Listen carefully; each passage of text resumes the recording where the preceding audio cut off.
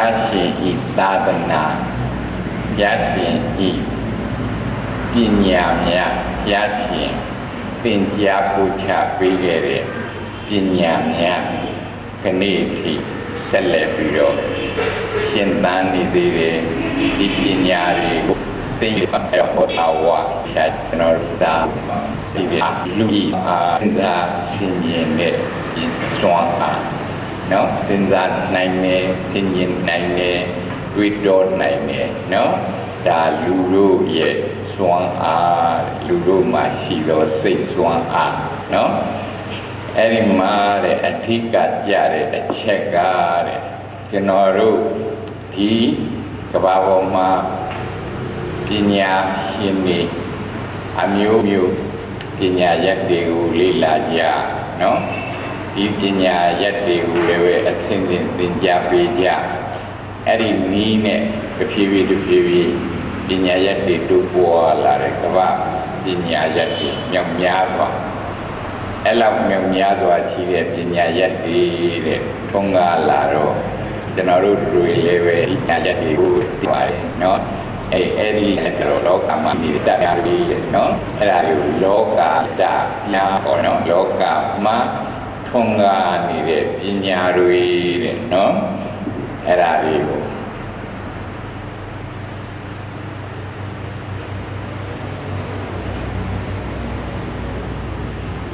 လောကယုတ္တပညာများနော်အဲ့ဒီပညာအမျိုးစုံထွန်းကားနေတာအဲ့ဒီထွန်းကားနေတဲ့ပညာတွေအပြင်နဲ့ကျွန်တော်တို့ဘုရားဘာသာမှာတော့ ဒေသနာမယပညာဆိုတဲ့ဘုရားရှင်ရဲ့ဒေသနာမှာဖော်ပြထားတဲ့ပညာတွေလည်းပဲရှိသေးတယ်တဲ့နော်အဲ့ဒါဒေသနာမယပညာများတဲ့အဲ့တော့ကျွန်တော်တို့မှာပညာဆိုတဲ့သဘောတဘာဝကို စဉ်းစားဆင်ခြင်ကြည့်လို့ရှိရင်လောကမှာတဲ့နော်ဒီပညာရှိတွေကြိုးစားပြီးတော့ရှားပွေထားတဲ့ပညာရက်တွေကတပိုင်းနော်ဒေသနာခေါ်တဲ့သမတံဗုဒ္ဓသင်ကြားပေးခဲ့တဲ့ပညာကတစ်ပိုင်းနှစ်ပိုင်းရှိပါတယ်တဲ့အဲ့ဒီနှစ်ပိုင်းမှာအဲ့ဒီနှစ်ပိုင်းမှာ ဒီဒီချာချာတဲ့နှလုံးသွင်းရစဉ်းကျင်ရမယ်အကြောင်းမရကနော်ဟောဒီလောကယတဆိုတဲ့ပညာတွေဟာလောကကြီးပွားရေးအတွက်နော်သင်ယူကြရတယ်နော်ဒီလိုသဘောပေါက်တယ်လောကယတပညာဆိုတာတွေဟာလောကမှာရှိနေတဲ့ကြီးပွားမှုနော်အတွက်သင်ယူကြရတယ်နော်အဲ့ဒီအပိုင်းဟာ မှန်ကန်တဲ့အပိုင်းသို့တော့အကုန်လုံးခြုံငုံပြီးတော့သုံးတတ်တဲ့အခါဒီလောကမှာပညာနဲ့နော်လောကမှာနေနိုင်နိုင်နိုင်အောင်လူအလုပ်တွေကိုလုပ်နိုင်အောင်သင်ယူရတဲ့ပညာပေါင်းမြောက်များစွာရှိတဲ့အပြင်နဲ့အဲ့ဒီပညာများအပြင်တဘာဝတရားတွေကိုလူပညာရှိတွေ လေ့လာထားတာတွေလည်းပဲအများကြီးရှိတယ်နော်အဲ့ဒီမှာအပိုင်းကဟောဒီလောကယတပညာလို့ခေါ်တဲ့လောကီပညာအပိုင်းမှာကိုကနှစ်ပိုင်းပါဝင်နေနော်တပိုင်းကပါတယ်တို့လောကမှာဘဝခရီးကိုရှောက်ရမှာအသုံးဝင်တဲ့ပညာရက်တွေ နော်အဲ့ဒီအသုံးဝင်တဲ့ပညာရက်တွေကတမျိုးနော်သို့တော်လည်းပဲအဲ့ဒီနေ့စဉ်လူမှုကိစ္စလူဘဝတွေမှာတိုက်ရိုက်အကျိုးပြုပြီးတော့ဒဒီဇာဝနီကိစ္စအတွက်ဆောင်ရွက်မှုမှာတိုက်ရိုက်မပါဝင်တော့ပညာတွေလည်း ရှိတယ်နော်အဲ့ဒီနှစ်ပိုင်းကိုဒါလောကီပညာပိုင်းမှာပဲခွဲခြား၍သိရနော်တခုကပါတယ်တော့အသုံးချ၍ရတော့ပညာတဲ့တခုကတော့အသုံးတိုက်ရိုက်အသုံးဝင်တဲ့ပညာမဟုတ်ဘူးသို့တော်လည်းပဲပညာလူလာသောပုဂ္ဂိုလ်တွေစူးစမ်းရှာဖွေပြီးတော့စူးစောင်းတင်ပြလို့ပညာရကြီးတွေထုံးကားတယ် နော်အဲ့ဒီအပိုင်းအပိုင်းကိုဒီဒီချာချာစဉ်းစားအဲ့တော့ဒီလောကယတပညာမှပါတယ်လို့အသုံးချလို့ရတော့ပညာကဒီပိုင်းတိုက်ရိုက်အသုံးမပြတော့ပညာတွေကလည်းဒီပိုင်းအဲ့တော့ဟောဒီတဲ့ဒေသနာမယပညာခေါ်တဲ့ပြည့်ရှင်ဟောကြားတော်မူခဲ့တဲ့ဒေသနာတော်များမှာလည်း သေသေးချာချာနှလုံးသွင်းဟောဒီလူလောကမှာရှိနေတဲ့လောကယတပညာတွေလိုပဲဒေသနာမယပညာမှာနော်အဓိကဖြစ်သောဒေသနာဤအကြောင်းအရာကပါတယ်တော့ဟောဒီလောကထဲမှာနေပြီးတော့ဟောဒီလောကမှာအပဖြစ်တော့နော် အစင်မြင်သည့်တဘာဝတရားများကိုသိအောင်နားလေအောင်သိပေးနေတဲ့ပရမတ္ထပညာတွေဟုတ်ကဲ့အဲ့ဒါတပိုင်းအဲ့ဒီလိုပရမတ္ထသဘာဝတွေကိုသင်ပေးုံနဲ့မကဘူးပါတယ်တော့လောကထဲမှာနေနေတဲ့လူတွေဟာလောကထဲမှာ အစင်ပြေပြီနဲ့နေနိုင်သွားနိုင်လုံနိုင်ကြိုင်နိုင်ဖို့အတွက်သင်ပေးတဲ့ပညာတွေလည်းပဲဒေသနာမယပညာတွေမှာပါပါတယ်နော်အဲ့ဒါကိုတဲ့ခွဲခွဲခြားခြားသိထားဖို့အဲ့တော့ကျွန်တော်တို့ကဒီဘုရားရှင်ဟောကြားသောဒေသနာများကိုသင်ယူသောအခါလောကုတ္တရာလို့ခေါ်တဲ့ လောကမှထွက်ကြောင်းတန္တရာမှထွက်ကြောင်းအလုတ်ကိုယ်သာလျင်သင်ကြားပြီးသောပညာရက်များလို့မှတ်ယူနေရင်နဲ့မပြည့်စုံပါဒီဒေသနာတွေမှာလောကမှထွက်ကြောင်းတန္တရာမှထွက်ကြောင်းပညာများကိုသင်ကြားပေးပြီးတကယ်သို့လောကအတွင်းမှာနေနေတဲ့ပုဂ္ဂိုလ်တွေအတွက် လောကအတွင်းမှာနေနိုင်အောင်နေတတ်အောင်လည်းပဲဒီပညာတွေသင်ပေးပါတယ်နော်အေးအဲ့ဒီအကြောင်းအရာကိုတဲ့သေသေးချာချာပိုင်ပိုင်ချာချာစဉ်းစားဖို့ဆင်ញင်ဖို့ပါတဲ့နော်အဲ့ဒါကဖျားရှင်ကိုယ်တော်တိုင်ကတရားများဟောကြားတယ်နော် ပညာများသင်ပေးတယ်ဆိုတဲ့အခါတဲ့အဲ့ဒီသင်ယူတဲ့ပုဂ္ဂိုလ်တွေသင်ယူတဲ့ပုဂ္ဂိုလ်တွေကတဦးနဲ့တဦးအခြေခံညက်မတူဘူးเนาะပညာဉာဏ်အခြေခံပါပြီးတော့ထက်မြက်တဲ့ပုဂ္ဂိုလ်တွေရှိသလိုတဲ့အခြေခံပညာအားနည်းတဲ့ပုဂ္ဂိုလ်တွေလည်းရှိပါတယ် အဲ့တော့ဘုရားရှင်ကဘယ်လိုပုဂ္ဂိုလ်မျိုးပဲဖြစ်ဖြစ်သူ့အခြေအနေနဲ့ကိုက်ညီပြီးတော့เนาะအကျိုးရှိမဲ့ပညာများကိုသင်ပေးတာပါအဲ့ဒီအကြောင်းအရာဟုတ်ကဲ့လားအဲ့ဒီတော့တဲ့ကျွန်တော်တို့ဒီအကြောင်းအရာတွေကိုတဲ့လိလာတဲ့အခါမှာအခုဒေသနာမယ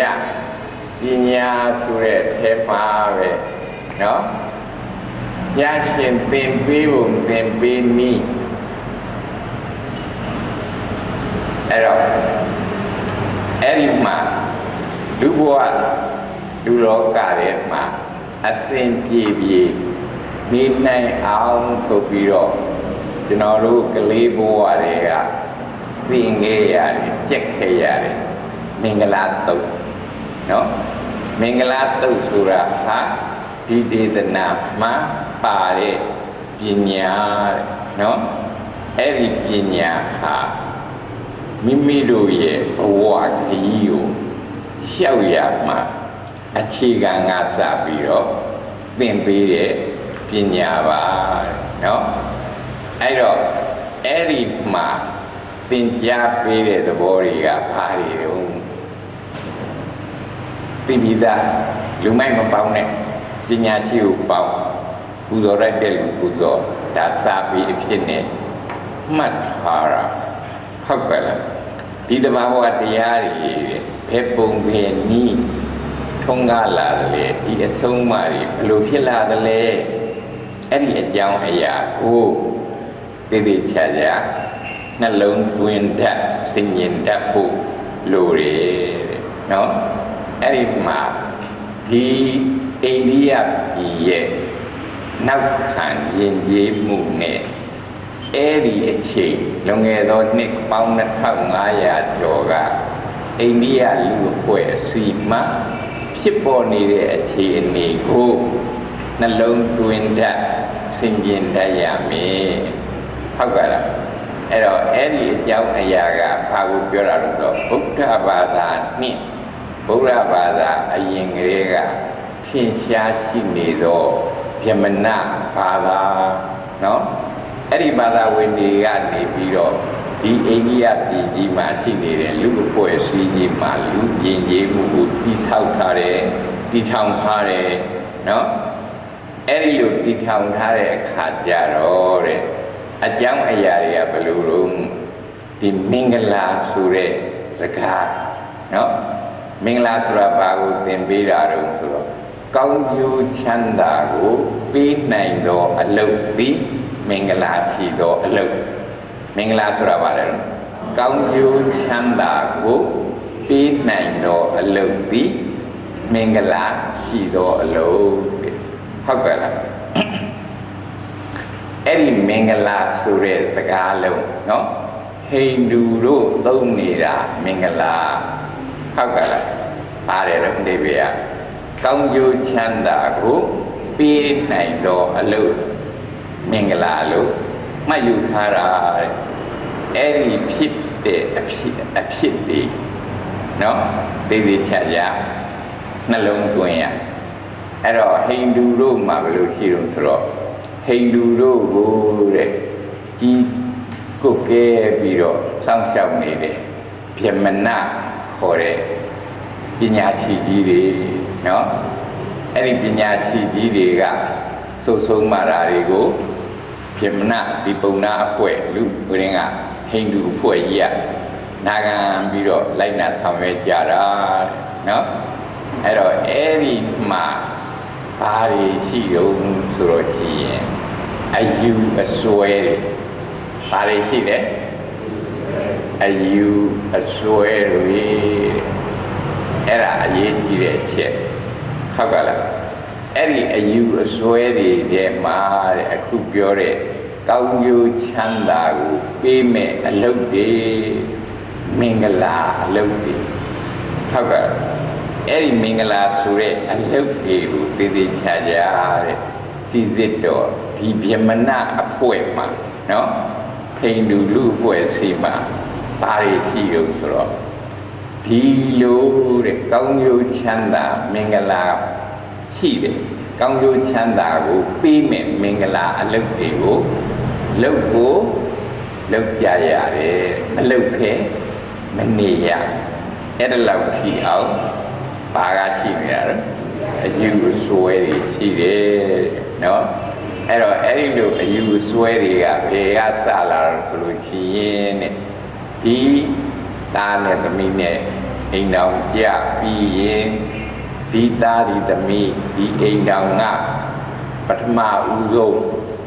သားယောက်ျားကလေးရဖို့အတွက်အရေးကြီးနေတယ်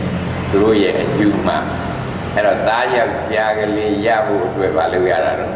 ဆုတောင်းမင်္ဂလာပွဲလုပ်ရတယ်ဆုတောင်းမင်္ဂလာပွဲဆိုတာရိုးရိုးမဟုတ်ဘူးဘာလုပ်တာတော့ပူဇော်မှုပတ်တာမှုတွေကို ဆောင်ရွက်ရတဲ့အဲ့လိုဆောင်ရွက်တဲ့အချိန်ခါမှာကိုယ့်ဟာကိုယ်ဆောင်ရွက်လို့မရဘူးပညာရှိဖြစ်သောပြမနာများကလာရောက်ပြီးတော့ဆောင်ရွက်ပြီးမှရုပ်ဖတ်တရစေပြီးမှအဲ့ဒီမင်္ဂလာပွဲကအောင်မြင်နေထမြောက်တယ်ဒါမှအကျိုးရှိတယ်အဲ့ဒီလိုတဲ့ပွဲကနော်အဲ့တော့အဲ့ဒီမှာအိမ်နံကြပြီးတော့မင်္ဂလာပွဲလုပ်ပြီးတော့ဒီလိုဆောင်ရွက်ရတဲ့အလုပ် ပြီးတော့ကိုယ်ဝင်ရှိလာတယ်ဆိုရင်လည်းပဲအဲ့ဒီဟာအတွက်ပါတယ်နော်ယောက်ျားလေးတားယောက်ျားလေးပွားဖို့အတွက်တခါထပ်ပြီးတော့ပွဲမင်္ဂလာပွဲလုပ်အဲ့ဒီမင်္ဂလာပွဲပြီးတော့ပွားမြင်လာတဲ့ခါကျတော့လက်သားပွားတဲ့မင်္ဂလာပွဲလုပ်အဲ့ဒါပြီးတဲ့ခါကျတော့ဒီကလေးအတွက်ခေါင်းရိပ်တယ်ဆိုရင်လည်းခေါင်းရိပ်တဲ့ပွဲသမင်းခွန်ရင်လည်းသမင်းခွန်တဲ့ပွဲအဲ့ဒီလိုတဲ့အစင်းစင်းပါတယ်နော် ပွဲပေါင်းမြောက်များစွာမလုံမနေရလောက်ကြရနော်အဲ့ဒီဟာမင်္ဂလာဆိုတဲ့အလုပ်ပေါင်းမြောက်များစွာတဲ့ဒီအိန္ဒိယရဲ့ယဉ်ကျေးမှုစာပေများမှာလေ့လာလို့ရှိရင်ဒီဟိန္ဒူတူဟာမွေးလာတဲ့ချိန်ကစ၍သေဒီအထိအဲ့ဒီလိုမင်္ဂလာမျိုးပေါင်း40ကျော်မလုံ မနေရလုံနေကြရတယ်အဲ့လိုလုံနေကြရတော့တဲ့အဲ့ဒီလုံတဲ့ပွဲတွေနဲ့အဲ့ဒီအကြောင်းအရာတွေအထူးသဖြင့်ကလေးတယောက်အရွယ်ရောက်လာတဲ့ဆိုရင်ယောက်ျားကလေးဟာတဲ့ပြမနာတယောက်ဖြစ်ဖို့အတွက်စလွယ်တင်မင်္ဂလာလောက်ကိုလောက်ရတယ်မလောက်ရင်သူကအဲဒီလူထဲမှာပွဲစည်းထဲမှာမဝင်ဘူးအဲ့ဒီလိုပဲမလောက်မနေရ မင်္ဂလာပေါင်းပွဲပေါင်း40ကျော်လောက်ရတယ်ပြီးတော့အဲ့ဒီဟာတွေလုတ်တိုင်းလုတ်တိုင်းဇယိစကားကုန်ကြတယ်ပြမနာဆရာကြီးတွေကိုပြင်ပြီးတော့သူတို့ရဲ့ရွတ်ဖတ်တရစေမှုနဲ့ဒီပွဲကြီးပွဲကောင်းဖြစ်အောင်ကောင်းကျိုးချမ်းသာပြည့်အောင်လုပ်ရတယ်အဲ့ဒီအခြေအနေမှာနော်အဲ့ဒီပြမနာတွေကျင့်သုံးတဲ့အခြေအနေမှာ သမတန်ဗုဒ္ဓပွင့်ပေါ်လာတဲ့အခါကျတော့စဉ်းစားဆင်ခြင်ဉာဏ်တွေသုံးတဲ့ပုဂ္ဂိုလ်တွေနော်အဲ့ဒီပညာဉာဏ်ဓာတ်ခံကြီးတဲ့လူတွေဗုဒ္ဓဤအစိုးဆုံးမှများဗုဒ္ဓသင်ပေးတဲ့ပညာများကိုလာပြီးတော့နားထောင်ကြတယ်နားထောင်တဲ့အခါကျတော့ပညာလူလာတဲ့ပုဂ္ဂိုလ်ပညာဓာတ်ခံရှိတဲ့ပုဂ္ဂိုလ်တွေက ဗုဒ္ဓဤသင်ကြားပြတ်တာပြီးတော့ဓမ္မတရားတော်များဟာတဘာဝကြတယ်တကယ်ပဲငြိမ်းချမ်းမှုကိုပြီးတယ်လို့သဘောပေါက်လာတော့အဲ့ဒီပုဂ္ဂိုလ်တွေဟာတမတံဗုဒ္ဓဤတပည့်များအဖြစ်ပြောင်းလဲလာတယ်ဟုတ်ကဲ့လားဘယ်အပြောင်းလဲလာတာလဲဟိန္ဒူကဘုရားဘာသာကွန်ဖတ်ဖြစ်လာတယ် ဟုတ်ကဲ့လားဖြစ်လာတဲ့ဗုဒ္ဓဘာသာဝင်ပုံနာတွေမှာအဲအခုဖြစ်တဲ့သူတို့ရဲ့ယဉ်ကျေးမှုနဲ့ဆက်သွယ်နေတဲ့မင်္ဂလာပွဲပေါင်းမြောက်များစွာကိုဆက်လက်ပြီးတော့လောက်ကင်ကျင့်သုံးနေရတာဟုတ်ကဲ့လားအဲ့ဒီခါကျတော့စီစစ်တဝေဖန်တတ်တဲ့ပုဂ္ဂိုလ်တိုင်းကအဲ့ဒီလိုလောက်တာတွေဟာ တကယ်ကောင်းကျိုးချမ်းသာကိုပြီးသလားမပေးဘူးလားဘယ်သူမှမသိဘူးအစင်အလားအယယုံကြည်မှုအစွဲနဲ့ပဲလုံနေရတာအဲ့ဒီခါကျတော့မှသမတံဗုဒ္ဓကိုလျှောက်ထားမင်္ဂလာမင်္ဂလာနဲ့ဒီပုံနာအဖွဲ့အစည်းမှာလုံနေရတဲ့သဘောတွေဟာတကယ်မင်္ဂလာအစစ် ဟုတ်ကဲ့လားမင်္ဂလာအစစ်ကိုရကြရင်ဘယ်လိုလုပ်ရမှာတော့လို့စိကပ်ပြီးတော့ဘုရားရှင်ကိုလျှောက်ထားကြတယ်အကြောင်းရင်းကပါတယ်လို့သူတို့မှဟိန္ဒူဖြစ်ခဲ့တဲ့အတွက်ဟိန္ဒူလူအဖွဲ့အစည်းရဲ့ဖိစီးမှုမင်္ဂလာတန်ကိုခံနေရတာအဲ့ဒီအရေးအိဗယ်ကိုနားလဲဟုတ်ကဲ့လားဘာကြောင့်အစွဲအလံကြီးလို့ ဘာရဲ့တန်ကိုခံနေရတာမင်္ဂလာဆိုတဲ့ပွဲတွေလုပ်ရတဲ့တန်ကိုခခံနေရတာအဲ့တော့ဘုရားရှင်ကကောင်းကျိုးချမ်းသာကိုလိုချင်ရင်လက်တွေ့ကောင်းကျိုးချမ်းသာပြီးမဲ့အလုပ်ကိုလုပ်ပါမှာပေါ့ဟုတ်ကဲ့ကောင်းကျိုးချမ်းသာပြီးမဲ့အလုပ်ကိုလုပ်ပါမှာပေါ့ဟုတ်ကဲ့လား အဲ့ဒီလိုသေသေးချာချာစဉ်းစားခိုင်းတယ်သိဉင်ခိုင်းတယ်အဲ့တော့လူရဲ့လို့ဖြစ်လာလို့ရှိရင်ကလေးတယောက်ခါနော်လူလားမမြောက်သေးဘူးဆိုရင်ကစားလိုက်သွားလိုက်လာလိုက်နဲ့နေနေသေးရင်လူဘောမဝင်သေးဘူးဟုတ်ကဲ့လားလူအဖွဲ့အစည်းတွေမှာမရောက်သေးဘူး သို့တော့တဲ့လူဘောဝင်လာတဲ့အချိန်လူအဖွဲ့အစည်းတွေကိုဝင်တော့မယ်ဆိုပြီးတော့အရွယ်ရောက်ပြီဆိုတဲ့အချိန်အဲ့ဒီကလေးတွေဟာနော်ဘယ်ထဲဝင်ရမှာတော့လူအဖွဲ့အစည်းတွေကိုဝင်ကြရတော့မြဲဝင်ဖို့ပြင်ဆင်နေပြီဟုတ်ကဲ့လားအဲ့ဒီချိန်ကြရင်ဘာလို့လာတော့အပေါင်းအပင်နဲ့ နေလာပြီကလေးလေးဟာသူ့ဟာသူကစားနေဆော့နေတဲ့အရွယ်ကတဆင့်ဘဲကိုပြောင်းလာတာတော့အပေါင်းအပင်နဲ့နေတတ်လာတယ်နေခြင်းလာပြီအပေါင်းအသင်းရှားတယ်ပေါင်းသင်းနဲ့နေတဲ့အဲ့ဒါဟာပဲ adolescent age ခေါ်တယ်ဟုတ်ကဲ့လားအေးအဲ့ဒီလိုဒီယောက်ျားလေးမိန်းကလေးတွေအရွယ်ရောက်ပြီဆိုရင် အပေါင်းအသင်းနဲ့နေကြပြီဆိုရင်အရေးအကြီးဆုံးအချက်ကဘာတော့ကောင်းကျိုးချမ်းသာမင်္ဂလာကိုလိုချင်တဲ့ဒီယောက်ျားကလေးဒီမိန်းကလေးဟာဘာလို့ရမှာတော့လူမိုက်မပေါင်းနဲ့ဟုတ်ကဲ့လားလူမိုက်ပေါင်းရင်ကောင်းကျိုးချမ်းသာမဖြစ်ဘူးလူမိုက်ကိုမပေါင်းမှ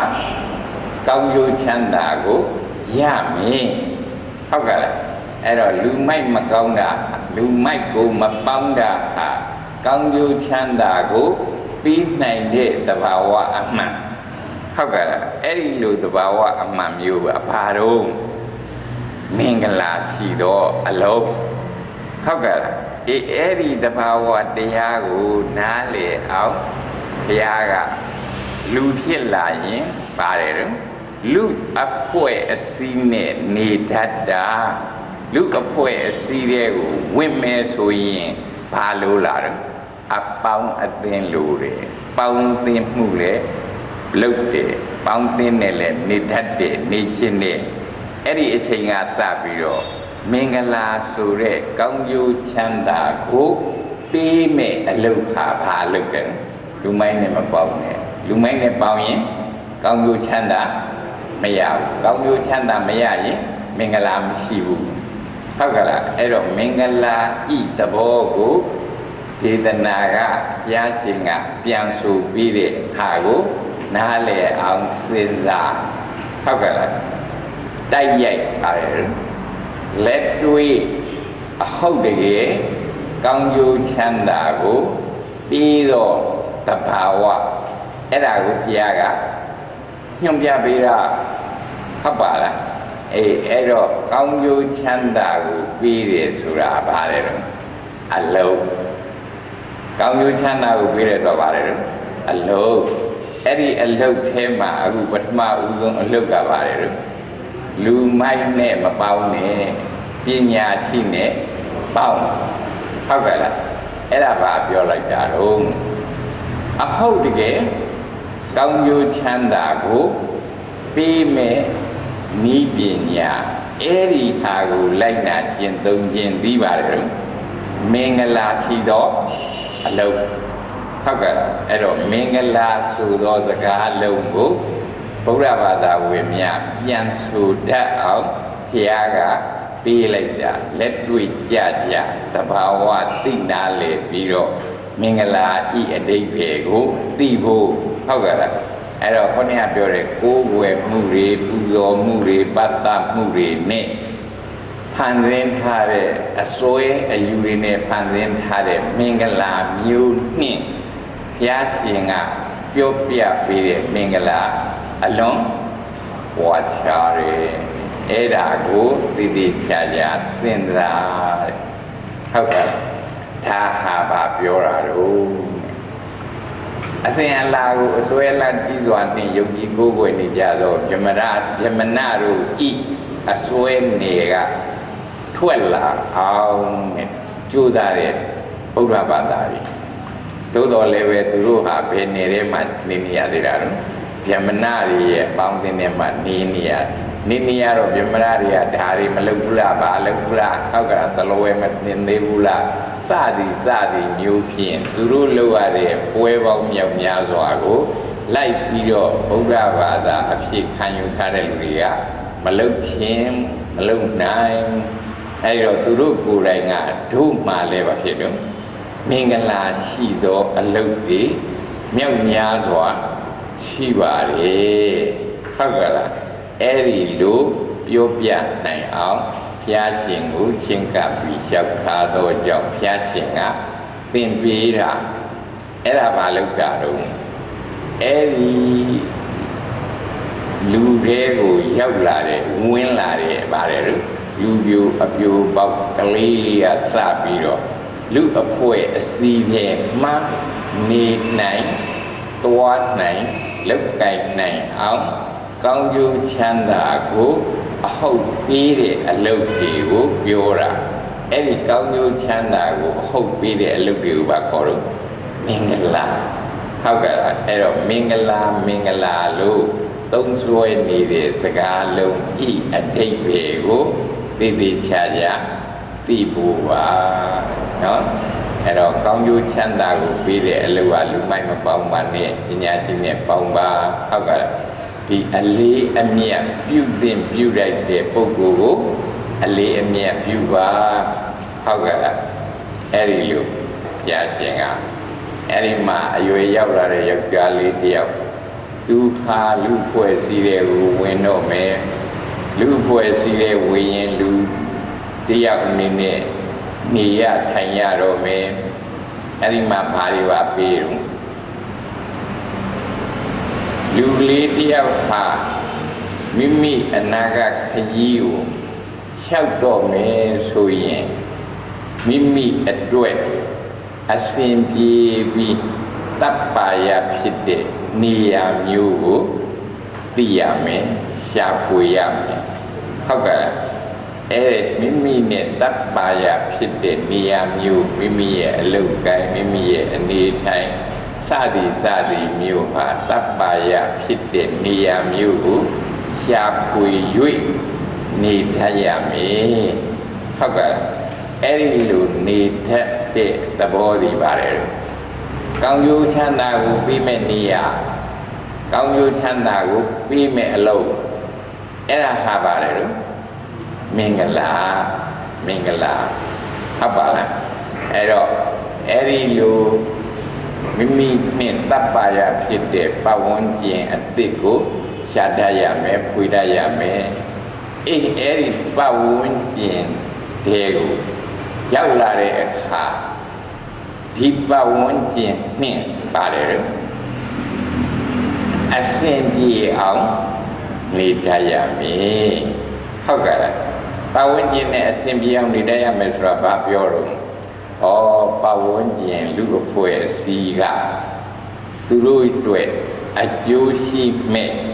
လူမှုကိစ္စတွေဟုတ်ကဲ့မိမိပဝန်းကျင်ကရှိနေတဲ့လူအဖွဲ့အစည်းကရှိနေတဲ့လူတွေအတွက်အကျိုးရှိမဲ့လူမှုကိစ္စတွေအဲ့ဒါတွေကိုအခုပြစ်စကားပြောရပါလိမ့်မယ် social services ဟုတ်ကဲ့ society ဆိုတဲ့အဖွဲ့အစည်းကို အကျိုးပြုမဲ့အလုပ်ကိစ္စတွေကိုလုပ်ပါဦးစားပေးလုပ်ပါဟုတ်ကဲ့လားအေးအဲ့ဒီလိုသင်ပေးတာဘာဖြစ်လို့လဲဒီလူလားမြောက်လာမဲ့ကလေးဟာဒီအဖွဲ့အစည်းထဲမှာဒီလိုအကျိုးပြုတဲ့လုပ်ငန်းတွေကိုလုပ်တတ်လာတယ်လုပ်နေတယ်လို့ပဝန်းကျင်ကအတိအမှတ်ပြုလာရင်သူ့အတွက်ပါဖြစ်တော့ ကောင်းကျိုးချမ်းသာကိုရမည်ဟုတ်ကဲ့လားအဲ့ဒီလိုတဲ့လူအဖွဲ့အစည်းအကျိုးရှိတဲ့အလုပ်တွေကိုလုပ်တာဟာပါတယ်မင်္ဂလာဟုတ်ကဲ့လားအေးအဲ့ဒီသဘောတွေကိုတဲ့ဘုရားရှင်ကသင်ကြားပြီးတော့ဘာနဲ့ကြွေးပြားသွားတာတော့အစဉ်အလာအယယုံကြည်မှုအစွဲတွေနဲ့လောက်ကင်ဆောင်ရွက်နေသောမင်္ဂလာအမျိုးမျိုးနှင့် ဘုရားရှင်သင်ပေးတဲ့မင်္ဂလာအလုံးကို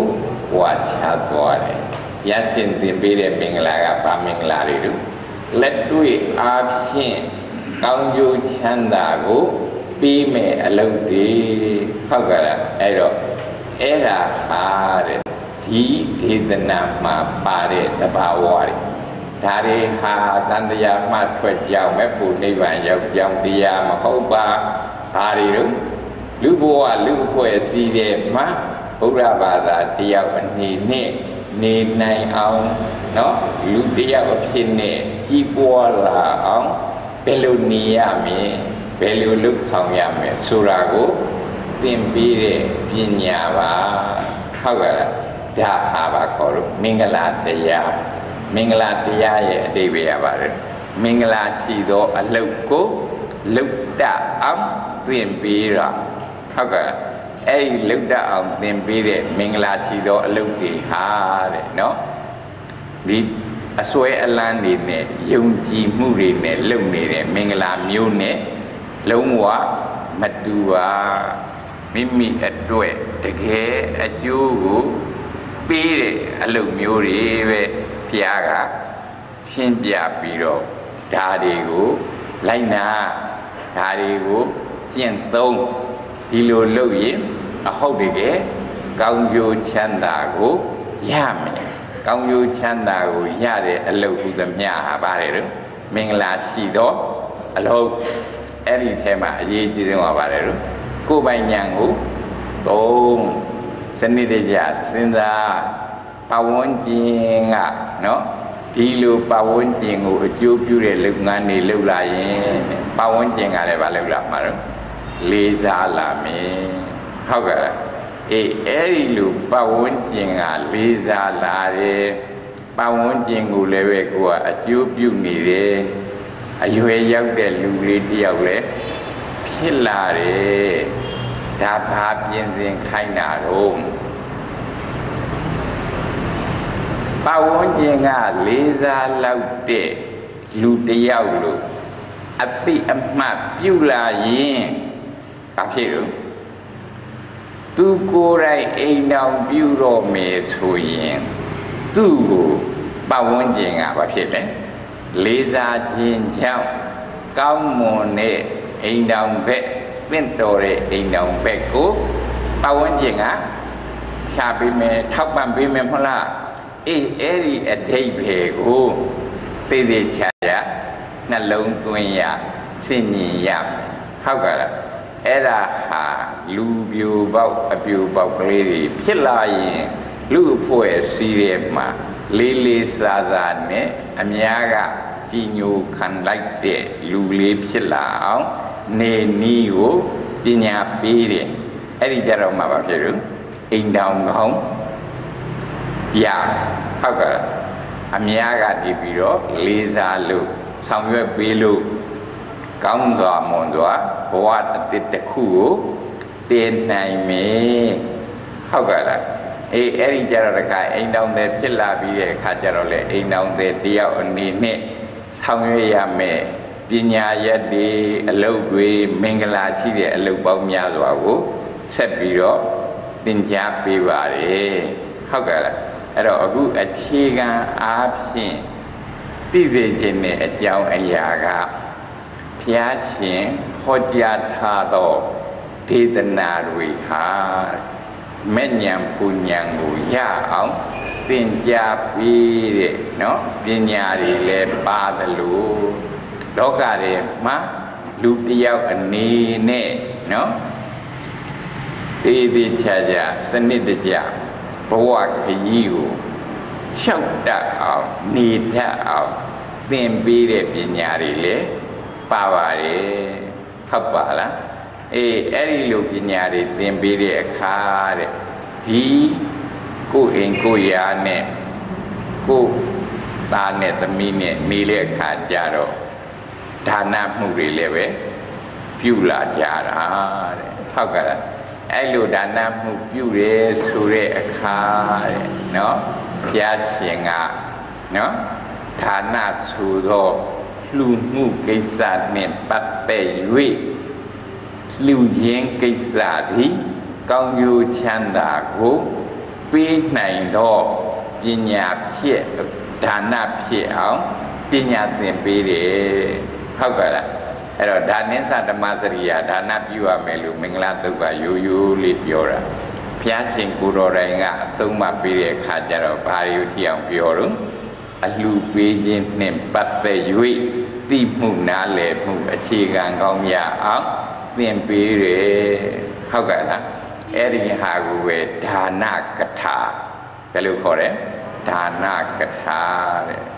အလှပေးခြင်းကိုနားလည်အောင် သင်ကြားပေးတဲ့တရားဟုတ်ကဲ့လားဒါနကထာတဲ့နော်အဲ့ဒီမှာအဲ့ဒီမှာဒီဟိန္ဒူအဖွဲ့အစည်းမှလည်းပဲအခုပြောတဲ့ဗြဟ္မဏဆရာကြီးတွေရဲ့အဆိုဆုံးမနဲ့ဒါနတွေလည်းပဲပြုကြတယ်အခုလိုပြောတဲ့အယူအဆွဲတွေနဲ့မင်္ဂလာတွေလည်းပဲပြုလုပ်ကြတယ် အဲ့ဒီလိုရောရောထွေးထွေးနဲ့လုပ်နေရတဲ့ဒါနမျိုးမဖြစ်စေရဟုတ်ကဲ့လားအဲ့တော့ဘုရားရှင်ကဒါနဆိုတဲ့အလှနှင့်ပတ်သက်သော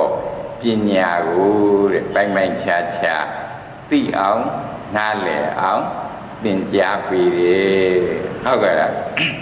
အဲ့တော့အဲ့ဒီမှာတိပိသားကိစ္စတွေပါတယ်နော် ဒါနဆိုတာဟာမိမိပိုင်ဆိုင်ထားသောဝတ္ထုပစ္စည်းအမျိုးမျိုးတို့ကိုစွန့်ကြဲခြင်းပေးကမ်းခြင်းပါပဲเนาะအဲ့ဒီစွန့်ကြဲပေးကမ်းတယ်ဆိုတဲ့အလုတ်ဟာတဲ့ဘယ်သူကရှေ့ဆောင်မှာတော့မိမိဤစိတ်ကဥဆောင်မှာဒီဒါနမှုကိုပြုလို့ရတာဟုတ်ကဲ့လား အဲ့တော့အဲ့ဒီလိုတဲ့ပြုတဲ့ဒါနမှဒီစိတ်ကဘယ်လိုသဘောထားရမှာတော့နော်အဲ့ဒီမှာမြင့်မြတ်တဲ့လူတယောက်အနေနဲ့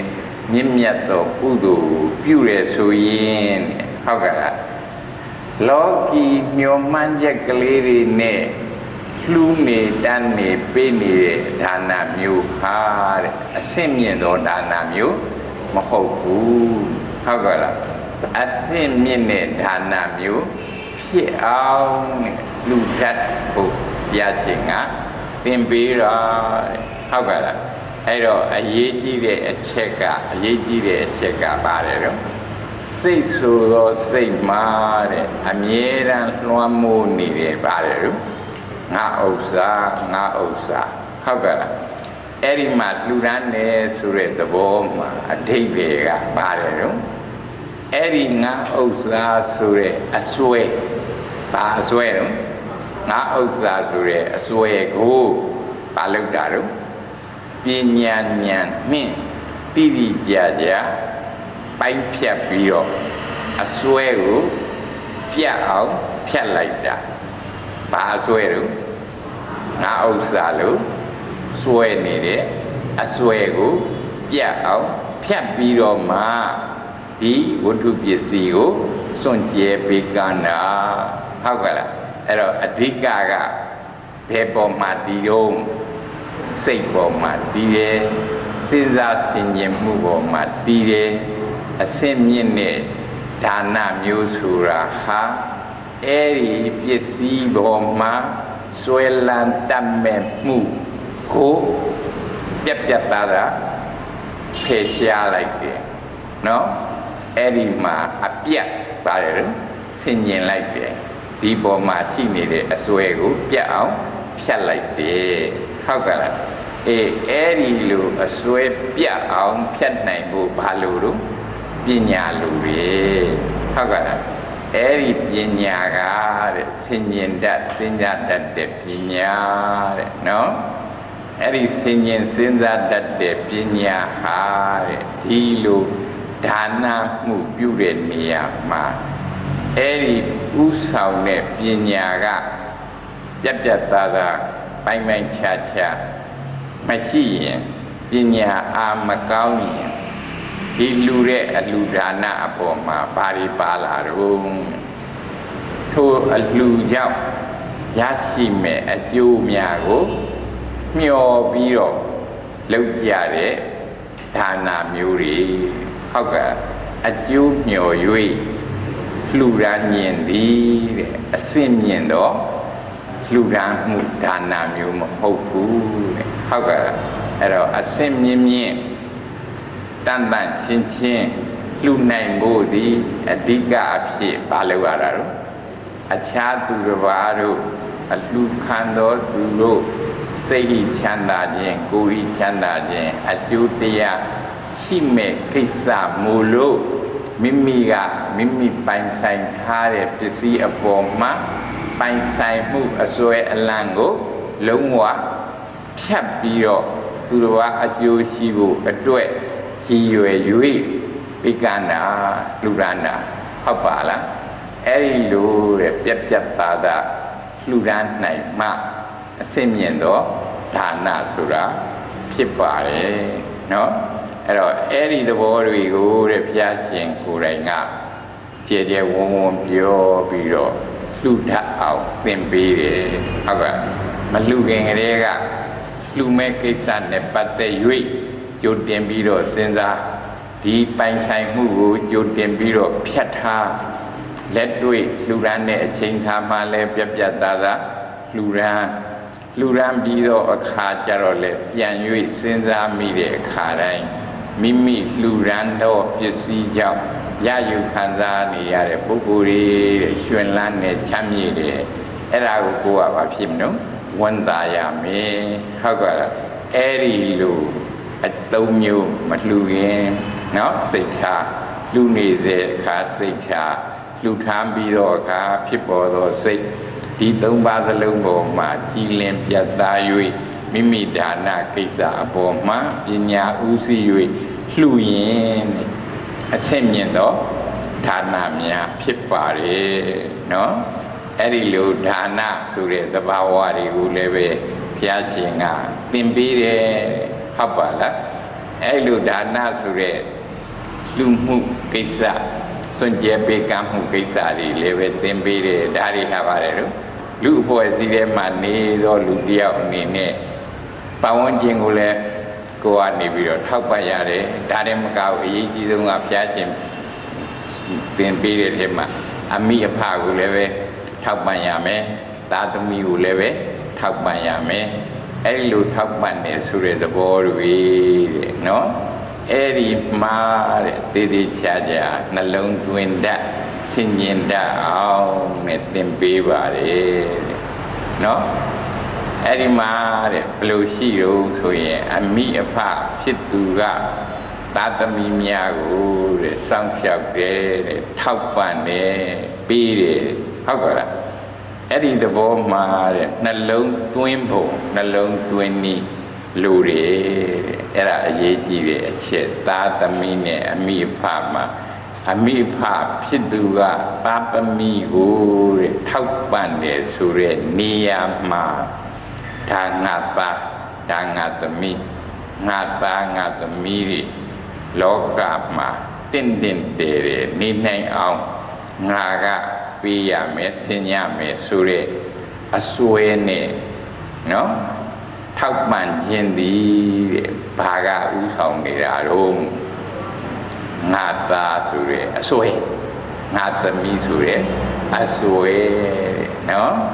အေးအဲ့ဒီအစွဲနဲ့ပေကံထောက်ပံ့နေဆိုရင်တဲ့ဒါဟာမြင့်သောဒါနမြတ်သောဒါန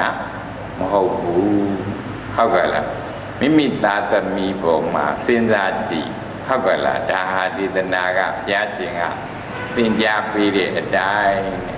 မိမိစီမာသာသမီအဖြစ်နှင့်ရောက်ရှိလာတယ်ဆိုတာဟာတဲ့သူတို့လည်းပဲပါတယ်လို့လူသားလေးတွေထိုးထိုးလူသားလေးတွေမှာပါပါလာတော့သူတို့ကိုယ်တိုင်နဲ့အတိတ်ကပြုခဲ့သောကံနေမြောက်များစွာပါလာတယ် အဲ့ဒီသာသမီတို့ရဲ့ကံထဲမှာမိမိရဲ့ကံနဲ့တွဲဆက်နေလို့မိမိထံမှာသားရဲ့သမီးရဲ့လို့ဖြစ်လာကြတာနော်အဲ့ဒီသဘောမှာပါတယ်နော်ဒီပုဂ္ဂိုလ်တဲ့ဒီတ attva တွေဟာမိမိအရေးအာဝါဒမိမိဝန်တိုင်းမှာဖြစ်လာကြတော့လေပဲသူတို့ဘာတွေတော့ တန္တရာခยีကိုရှောက်ခဲ့ရတဲ့တတ္တဝါတန္တရာခยีတဲ့ဒါလည်းပဲတန္တရာခยีတဲ့သမီးလည်းပဲတန္တရာခยีတဲ့မိမိလည်းပဲတန္တရာခยีတဲ့အဲ့ဒီအချက်ကိုဘာလို့ရမှာတော့စဉ်းစားတဲ့ဟုတ်ကဲ့ကိုကိုယ်တိုင်လည်းပဲတန္တရာခยีတဲ့သားတို့သမီးတို့ကလည်းပဲ တန္တရာခยีတဲ့အဲ့ဒီမှာတဲ့ကြွားချတဲ့အချက်ပါတယ်လို့ပြရတာမိမိကဥစွာလူဘဝလူခန္ဓာကိုရတော့တဲ့ဟုတ်ကဲ့လားပါတယ်အမိအဖရဲ့လူဖြစ်လာတယ်သူတို့ကနောက်မှရောက်လာတော့တဲ့သားရဲ့သမီးရဲ့လူဖြစ်တယ်တဲ့အဲ့ဒီမှာအသုံးလေးကဒေသနာမှာတဘာဝတရားကိုပြောတာအမိအဖတို့က အရင်ဖြစ်နေတဲ့ပုဂ္ဂိုလ်တွေပူရေဇာတပစ္စယောအရင်အမိအဖတို့ကပါတယ်ကြိုးတင်ပြီးတော့လူဘဝရောက်လာလို့သူတို့ကပါတယ်တော့ပူရေဇာတပစ္စယောဟုတ်ကဲ့လားသားတွေသမီးတွေကပါတယ်တော့နောက်မှရောက်လာကြတော့ဘယ်လိုခေါ်တော့ပစ္စာဇာတပစ္စယောဟုတ်ကဲ့လားအဲ့တော့အဲ့ဒီသဘောလေးတွေကိုတဲ့နှ လုံးသွင်းဆင်ញင်ပြီးတော့ဩဒီသားလေးတွေဒီသမီးလေးတွေဟာသူတို့အရွယ်မရောက်သေးကြတော့သူတို့ကိုသူတို့မရက်တည်နိုင်ကြသေးဘူးတို့အထောက်ပံ့ကိုမှီပြီးမှကြီးပွားရတာသို့တော့သူတို့ဟာလည်းပဲပါတယ်သူတို့ပြုခဲ့တော့အတိတ်ဘဝကသူတို့ရဲ့ကံနဲ့သူတို့လာချတာ အမိအဖကဘာလုပ်ပြရတာတော့ထောက်ပံ့ပေးုံပဲသူတို့ရဲ့ဘဝမှာကြီးစိုးနေတဲ့ကံများကသူတို့ဘဝကိုပုံဖော်ပေးမှဟုတ်ကဲ့လားအဲ့တော့ဘာတွေတော့ပြရငါသားငါသမီးဆိုတဲ့အစွဲအလန်းနေနဲ့ထောက်ပံ့နေရင်တန့်ရှင်းစင်ကြယ်သောဌာနမဖြစ်ဘူး နှလုံးသွင်းရမှာကပါတယ်နော်တန္တရာခကြီးတဲ့ချင်းအတူတူတို့ကအရင်ရောက်လာလို့သူတို့ကိုထောက်ပံ့နိုင်တာသူတို့လည်းပဲအချိန်တန်တော့ပါတယ်သူရဲ့သူနေရာသူသွားကြသူ့လုံတွေလုံကြမှာဟုတ်ကဲ့လားအေးအဲ့ဒီတဘာဝအမှန်ကိုဘာလို့ရမှာလဲမြင်အောင်ကြည့်နှလုံးသွင်းအဲ့လိုနှလုံးသွင်းတတ်တဲ့အခါကြတော့တဲ့ မိမိပေးကမ်းစွန့်ကြဲနေတဲ့အရာတွေဟာလည်းပဲဘာဖြစ်တော့အစွဲအလံကင်းနေအစွဲအလံကင်းခြင်းကြောင့်ဘာဖြစ်တော့အကျိုးရှိတယ်အဲ့ဒါလည်းပဲဘာဖြစ်တော့ဒါနမှုဖြစ်တယ်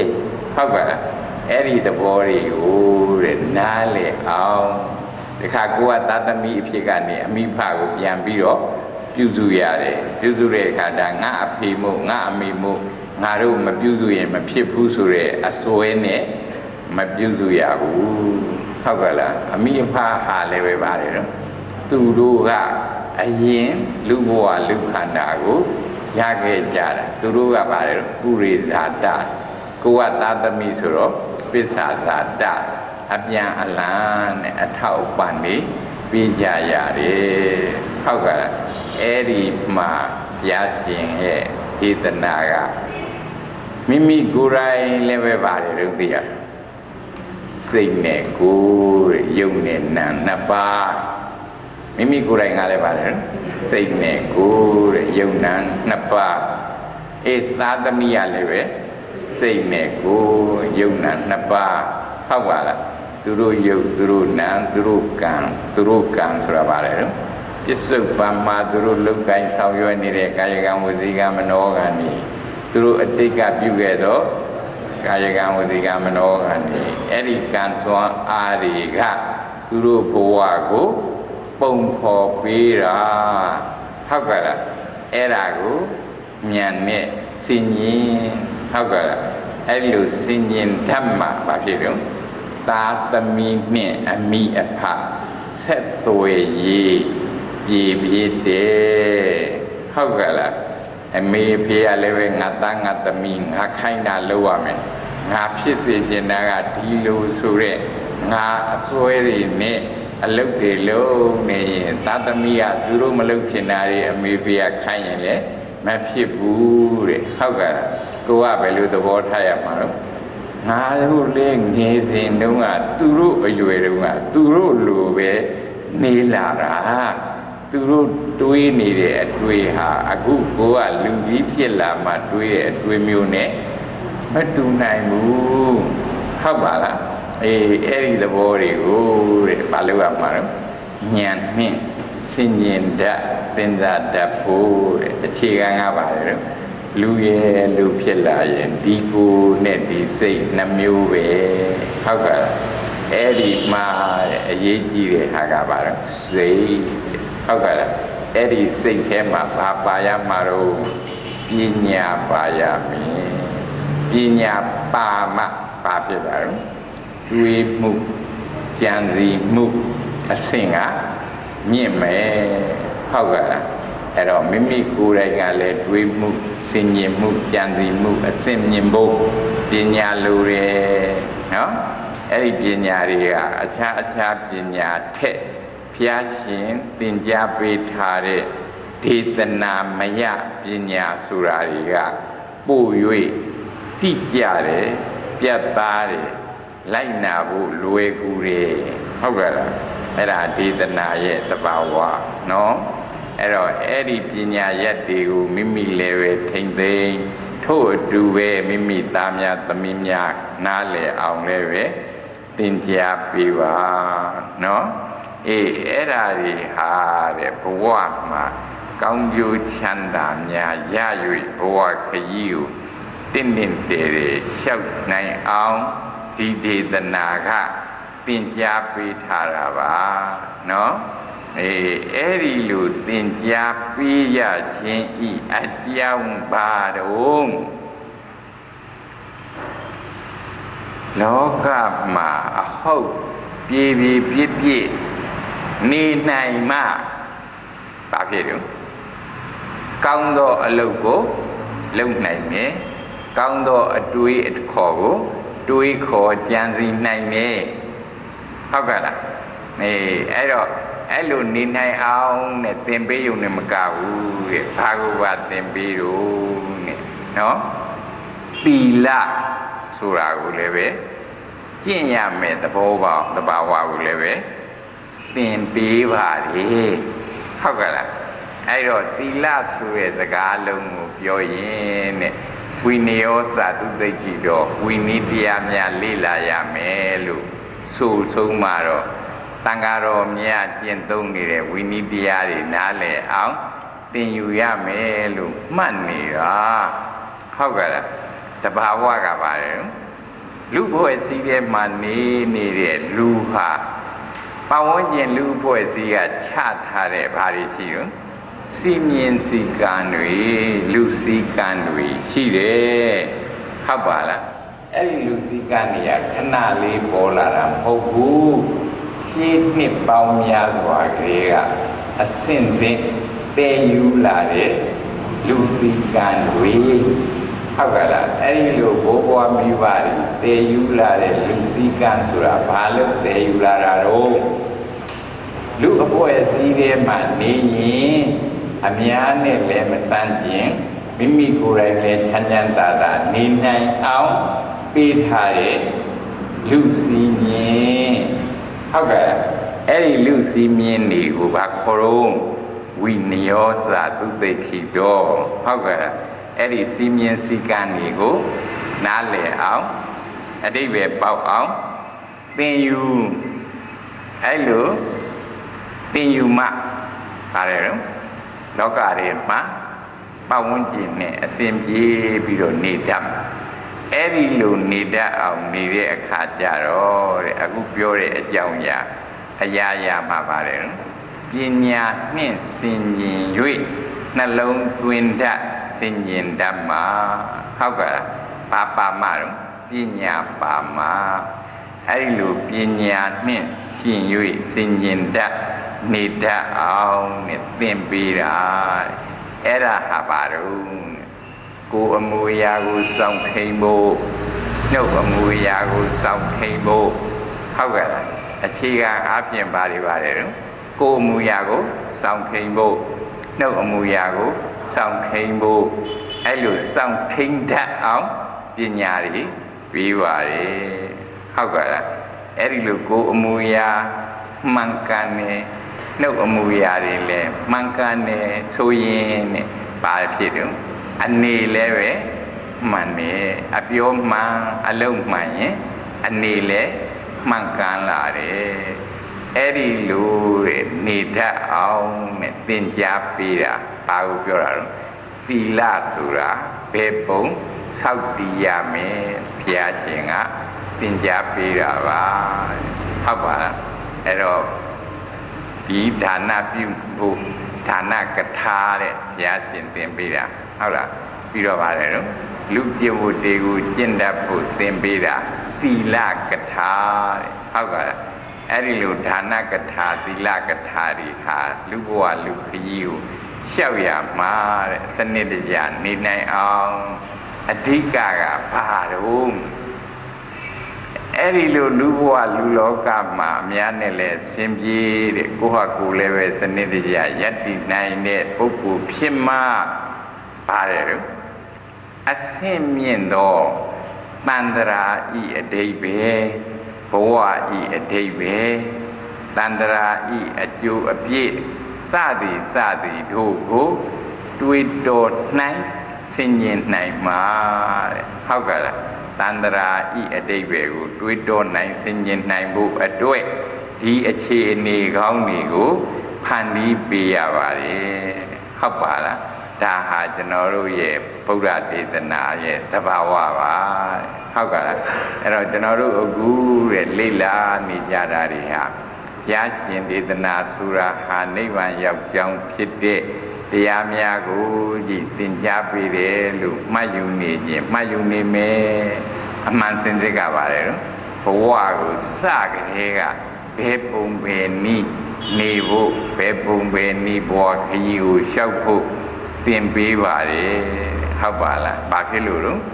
ဒီလိုစနစ်တကျနဲ့ဘဝမှာနေသွားနိုင်မှအဆင့်မြင့်သောပညာဘာပညာလဲတော့ဝိပဿနာပညာတန်တရားမှတ်ထွက်ကြောင်းပညာများကိုစီးပူနိုင်မယ်အထုတ်နိုင်မယ်တဲ့နော်ဒါကြောင့်မလို့ဘုရားကဒီပညာတွေသင်ပေးတာပါတဲ့အဲ့တော့ကျွန်တော်တို့တွေတဲ့အခုရရှိထားတဲ့ ပညာတွေအခုကြားရတဲ့ဟာတွေတုတ္တမယပညာခေါ်ပါတယ်အခုကြားထားရတဲ့တုတ္တမယပညာတွေဟာဘလောက်အတိပ္ပယ်ရှိသလဲလို့ကိုကိုယ်တိုင်ဉာဏ်နဲ့စဉ်းစားပါစဉ်းစားဆင်ញင်ပါစိတ်တမယပညာတွေနော် အဲ့ဒါတွေရပြီဆိုတော့မှဒီတဲ့အဆင့်မြင့်သောဘာဝနာမယပညာများကိုတလန်းနိုင်မှာဖြစ်ပါတယ်အဲ့တော့ကျွန်တော်တို့တို့တွေဖျားရှင်ဤအဆူဆုံးမများကိုနားလေသဘောပေါက်ပြီးတော့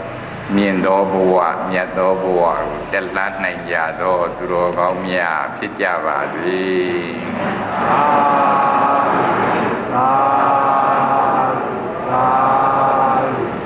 ဘုရား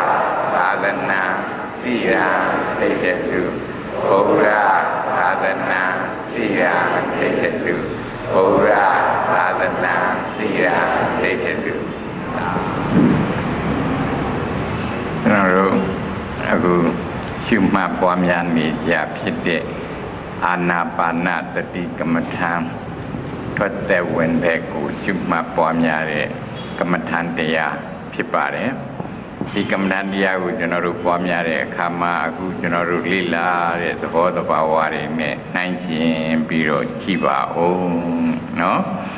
ကျွန်တော်တို့ဟာယုတ်ခန္ဓာနာမ်ခန္ဓာနှစ်ပါးရှိတယ်အဲ့ဒီယုံနာနှစ်ပါးမှာနာမ်ခန္ဓာဖြစ်တဲ့စိတ်နော် စိတ်ဟာတဲ့အရာရာကိုဥဆောင်နေနော် စိတ်တည်တာလျင်အကြည့်အကဲဖြစ်တယ်နော်စိတ်ကပဲဥဆောင်နေအဲ့တော့ဒီသဘောဒီတဘာဝတွေကိုတဲ့ဘုရားရှင်ကသင်ကြားပေးထားပါတယ်အဲ့တော့အဲ့ဒီလိုအကြည့်အကဲဖြစ်တဲ့စိတ်ဥဆောင်မှုပေးတဲ့စိတ်ကိုတဲ့စနစ်တကျ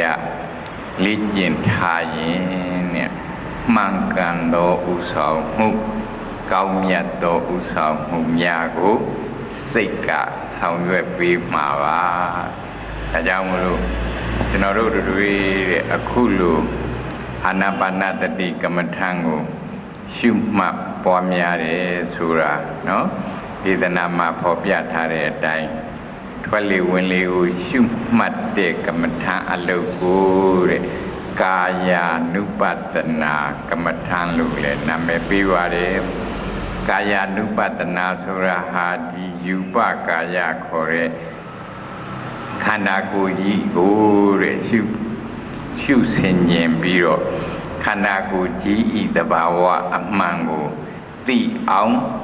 နားလေအောင်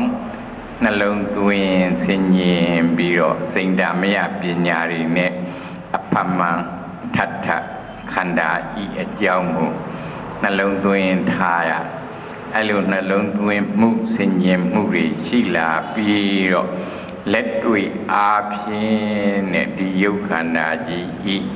အမှန်တဘာဝကိုရှုမှတ်တယ်အမှန်တဘာဝကဘယ်လိုတော့ဩဒီယုတ်ခန္ဓာဟာရှင်ရေးအတွက်ဒီဝင်သက်ကလေးထွက်သက်ကလေးမှန်မှန်ဝင်အောင် ထွက်အောင်ဒီယူဘက်ခန္ဓာကကြိုးစားအားထုတ်နေလို့ဒီခန္ဓာကိုယ်ကရှင်တာအမှန်เนาะအဲတော့ခွဲခွဲကွဲကွဲပြားပြားနှလုံးသွင်းဖို့စင်ញင်ဖို့အချက်ကဘဝအတွက်အရေးအကြီးဆုံးဖြစ်သောရှင်မှုကိစ္စเนาะ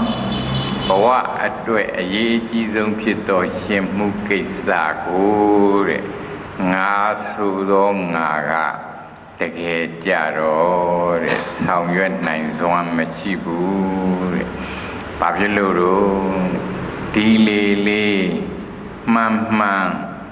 ဝင်းနေထွက်နေတာเนาะခန္ဓာကိုယ်က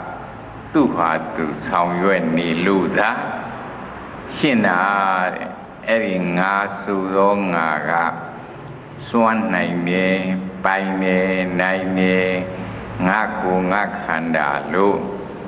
ထင်းနေတဲ့အထင်ဟာတကယ်လက်တွေ့